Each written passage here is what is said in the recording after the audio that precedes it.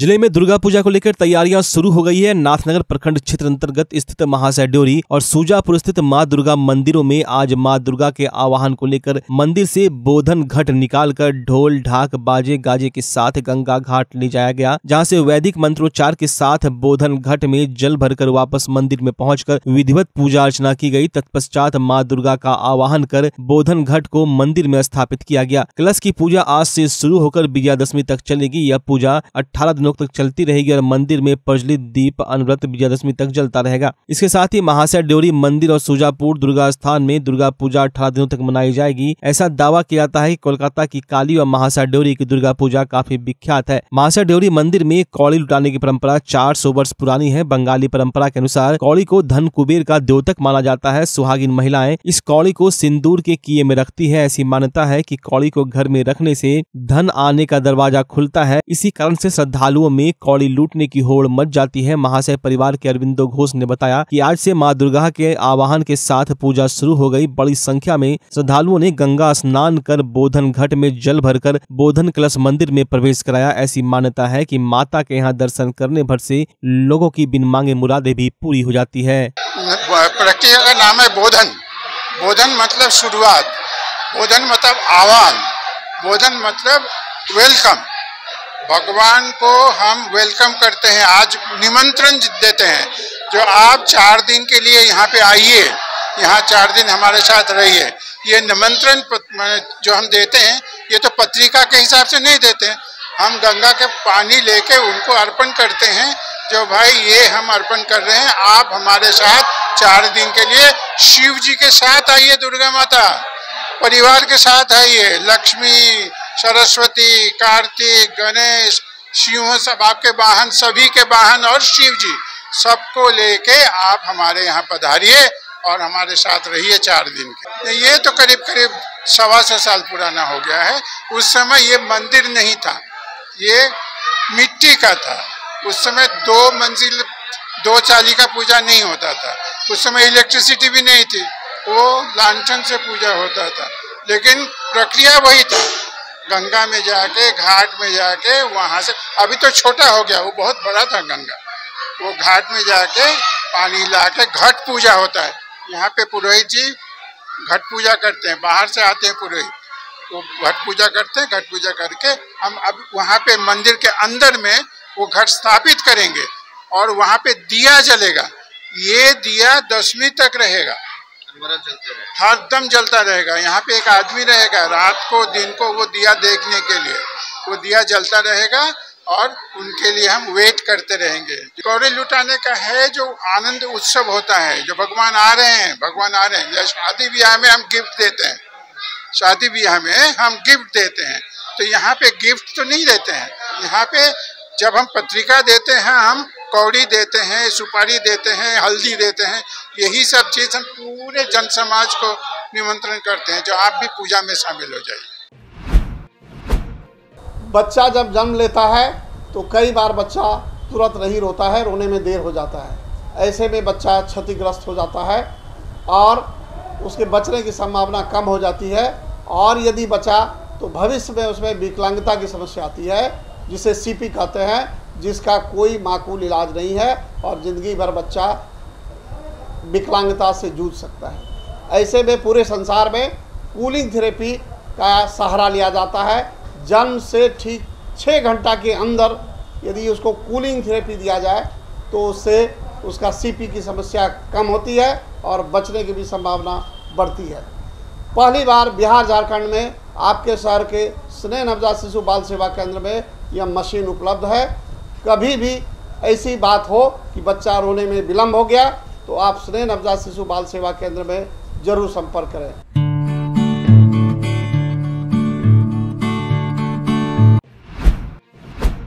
Bhagalpur police की मुस्तैदी एवं तत्परता से एक बड़ी घटना को रोका गया और अपराधी को हथियार के साथ गिरफ़्तार कर लिया गया। दरअसल एसएसपी आनंद कुमार को सूचना प्राप्त हुई कि कुछ लोग किसी बड़ी घटना को अंजाम देने वाले हैं, जिसके बाद एसएसपी के निर्देश पर पुलिस अधीक्षक नगर के निगरानी में तथा पुलिस उपाधीक्षक नगर के नेतृत्व में एक विशेष छापेमारी दल का गठन किया गया। विशेष छापेमारी दल द्वारा कुख्यात सूरज ताती के घर पर छापा मारने पर सूरज ताती एवं शिवम कुमार ताती को अवैध हथियार के साथ गिरफ़्तार किया गया। गौरतलब गौरतलब है कि इस मामले में पाँच व्यक्तियों के विरुद्ध आगे कार्रवाई की जा रही है। बरामदगी सामान में देसी पिस्टल, देसी कट्टा कारतूस शामिल है। गिरफ़्तार सूरज तांती, शिवम कुमार तांती का आपराधिक इतिहास रहा है।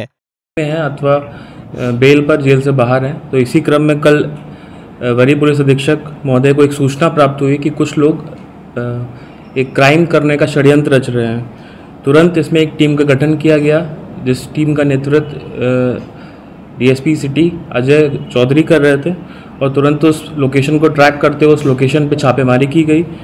तो सूरज ताती के घर पे सूरज छापेमारी की गई और उसके साथ शिवम कुमार ताती और तीन और अज्ञात लोग थे और छापेमारी के क्रम में एक पिस्टल, एक देसी कट्टा और पाँच कारतूस बरामद किए गए। और ये लोग एक, ये लोग संगीन अपराधी हैं। सूरज ताती के ऊपर टोटल चार केसेस हैं। एक बहुचर्चित धुरी यादव हत्याकांड का हत्याकांड में भी ये शामिल था और शिवम तांती के ऊपर भी एक केस है, रंगदारी का है और और भी आपराधिक इतिहास हम इन लोग का पता कर रहे हैं। इस टीम में शामिल जो थे, वो बरारी एसएचओ, आशुतोष जी थे, इंस्पेक्टर संजय संजय कुमार सुधांशु, मिथिलेश कुमार चौधरी, पुवनी राजकुमार, साहनी शैलेंद्र सिंह, सिपाही बच्चन कुमार, अभिमन्यु कुमार सिंह, प्रकाश कुमार रजनीश कुमार। इनके द्वारा सराहनीय काम किया गया है और इस प्रकार भागलपुर पुलिस की मुस्तैदी एवं तत्परता से बड़ी घटना को रोका गया है और अपराधी हथियार के साथ गिरफ़्तार किए गए सर किस घटना किस तरह की घटना? ये लोग लूटपाट की घटना को कारित करने का षड्यंत्र रच रहे थे और इनका प्लान था कि दुर्गा पूजा में भी ऐसी घटनाओं को कारित करेंगे और एक सफल उद्भेदन किया गया सर किस थाना क्षेत्र में घटना कर सकते थे? बरारी में पकड़े गए हैं वहीं भी प्लान कर रहे थे और थाना क्षेत्र तो टारगेट इनका रहता है तो उसके बारे में भी पूछताछ की जा रही है। सर धुरी यादव अ, बहुचर्चित हत्याकांड था उसमें कि मतलब अभी गिरफ्तारी हुई है तो क्या लगता है कि ये पहले भी उसमें जेल जा चुका है इसमें उसमें शूटर का भागलपुर की सामाजिक संस्था जीवन जागृति सोसाइटी लगातार विभिन्न दुर्घटना पर कार्य करती है इसी कड़ी में सोसाइटी दिल्ली के कॉन्स्टिट्यूशन क्लब ऑफ़ इंडिया में विश्व आपदा रिडक्शन डे के अवसर पर दिनांक 13 अक्टूबर को देश भर के ऐसे जामबाज इंसानियतों के गुण से भरे व्यक्तित्व के स्वामी जो संकट में फंसे व्यक्ति को छोड़कर आगे नहीं बढ़ते, बल्कि उनका जान बचाते हैं को राष्ट्रीय स्तर पर लोक नायक जयप्रकाश नारायण आपदा फरिश्ता सम्मान समारोह से सम्मानित करेगी। एक प्रेस कॉन्फ्रेंस में संस्था के अध्यक्ष डॉक्टर अजय कुमार सिंह ने बताया की देश में कोई भी सामाजिक संस्था इस क्षेत्र में ऐसे लोगों का हौसला बढ़ाने के लिए सम्मान समारोह नहीं करती, बल्कि समाज में नेकी की राह पर मदद करने के लिए ज़्यादा से ज़्यादा लोग आगे आए। इस उद्देश्य से यह सम्मान समारोह आयोजित किया जा रहा है। इस कार्यक्रम में देश के 25 राज्यों से पाँच लोगों को इस सम्मान हेतु चयनित किया गया है, जिनमें से इकसठ लोगों को दिल्ली बुलाकर समारोह स्थल पर देश के लब्ध प्रतिष्ठित महानुभावों के द्वारा सम्मानित किया जाएगा एवं शेष पाँच सौ मददगार को जिन्होंने कभी न कभी संकट में फंसे लोगों की मदद की है, उनको यह सम्मान समारोह के बाद उनके क्षेत्र के विधायक द्वारा दिलवाने की कोशिश की जाएगी। इस समारोह में इलाहाबाद उच्च न्यायालय के मुख्य न्यायाधीश एवं उच्चतम न्यायालय के जस्टिस शिवकीर्ति सिंह, एनडीआरएफ के संस्थापक सदस्य एवं केंद्र सरकार द्वारा सुभाष चंद्र बोस, आपदा अवार्ड्स के पहले विजेता आईपीएस के एम सिंह, अंग क्षेत्र के सेवा मेडल से सम्मानित ब्रिगेडियर एस के सिन्हा एवं कारगिल युद्ध के सौर चक्र विजेता मेजर राकेश शर्मा मुख्य अतिथि एवं विशिष्ट अतिथि होंगे और प्रतिभागी इनके हाथों से सम्मानित होंगे। कांग्रेस इंटक कार्यकर्ताओं ने कचहरी चौक कलेक्ट्रेरिएट गेट के समक्ष प्रदेश अध्यक्ष ओम प्रकाश उपाध्याय के नेतृत्व में दिल्ली में पत्रकारों की हुई गिरफ्तारी के विरोध में प्रदर्शन किया। लोकतंत्र के चौथे स्तंभ पर हमला बंद करो, पत्रकारों की आवाज़ दबाना बंद करो we stand with NewsClick जैसे कई नारों के साथ पत्रकारों के खिलाफ कार्रवाई के विरोध में प्रतिवाद किया गया। सभा को संबोधित करते हुए कांग्रेस इंटक के प्रदेश अध्यक्ष ओम प्रकाश उपाध्याय ने केंद्र की मोदी सरकार पर आरोप लगाया कि पत्रकारों की गिरफ्तारी लोकतंत्र की हत्या है या प्रेस की आज़ादी पर हमला है। केंद्र की सरकार बौखला गई है। अब वह मीडिया से डरने लगी है। अगर प्रेस की आज़ादी खत्म हो जाएगी तो जनता की आवाज़ दबी रह जाएगी। हम सभी जानते हैं कि केंद्र की नरेंद्र मोदी जी की सरकार ने जिस तरह से जनपक्षीय पत्रकारों एवं मीडिया कर्मी बंधुओं को, जनता की जो आवाज़ को, आज जनता की आवाज़ बनकर जिस तरह से सत्य को उजागर कर रहे थे उस सत्य को उजागर से डरी हुई मोदी की सरकार ने हमारे पत्रकार बंधुओं पर दबाव बनाकर उन्हें गिरफ़्तार करने का काम किया। ये प्रेस की आज़ादी पर सबसे बड़ा कुठाराघात है और ये प्रेस की आज़ादी को दबाने के लिए केंद्र की डरी हुई दमनकारी सरकार, जिस तरह से हमारे पत्रकार बंधुओं की आवाज़ को दबाने का काम कर रही है। ये कांग्रेस पार्टी आज बता देना चाहती है कि इस आवाज़ को किसी भी कीमत पर हम पत्रकार बंधुओं को दबने नहीं देंगे और पत्रकार बंधुओं के साथ कदम में कदम मिलाकर हम चलेंगे। हम सरकार से मांग करते हैं कि इन पत्रकारों को अविलंब रिहा करें और जो उचित कार्रवाई हो, जो उचित आपको, आपके तरफ़ से जो लगे उसको दूध का दूध और पानी का पानी कर। पत्रकार बंधुओं को जल्द से जल्द रिहाई का काम करे। इसकी न्यायिक जाँच हो। और ये सरकार, जो केंद्र की सरकार, दिल्ली की दरबार में जो डरी हुई सरकार है, ये चुनाव को देखते हुए जनता की आवाज़ को दबाने का जो काम कर रही है, इसकी दमनकारी नीतियों को हम कभी भी चलने नहीं देंगे। कांग्रेस पार्टी इसे कुचल कर रखेगी। साथियों, आप ही बताएँ कि आज पत्रकार जो है जनता की आवाज़ बन करके रहता है। ये महँगाई, बेरोजगारी आदि मुद्दों को भागलपुर के जवाहरलाल नेहरू कॉलेज में कॉलेज में कार्यरत कर्मचारियों को नौ महीने से वेतन नहीं मिलने से वो परेशान है। वहीं पोस्टमार्टम कर्मी का कहना है कि हम लोगों को नौ महीने से वेतन नहीं मिला है, जिस कारण दुर्गा पूजा पर्व की शुरुआत हो गई है, पर अब तक विभाग ने नौ महीने से हम लोगों को पेमेंट नहीं किया है। इसको लेकर वे काफ़ी परेशानियों का सामना कर रहे हैं। घर परिवार का पालन पोषण, दैनिक स्थिति काफ़ी उदासीन हो गई है। मेरा नाम मानिक लाल मल्लिक है। फोरेंसिक मेडिसिन विभाग में जवाहरलाल नेहरू चिकित्सा महाविद्यालय में पोस्टमार्टम के कार्य करता हूँ। मुझे नौ माह से वेतन अभी तक भुगतान नहीं किया गया है। और बीच में दशहरा है, दीपावली है, छठ आने वाला है इसमें खर्च है धिया पुता का कपड़ा लत्ता देना है। हम कैसे इसका अथी करेंगे? अभी तक मुझे पेमेंट नहीं किया गया। इस चीज़ पेमेंट को लेकर किसी पदाधिकारी से बातचीत हुई थी? हाँ इससे पदाधिकारी से बात हुई थी। प्रिंसिपल से प्रिंसिपल ने हम्म, जिला पदाधिकारी के पास फ़ाइल भेज दी है।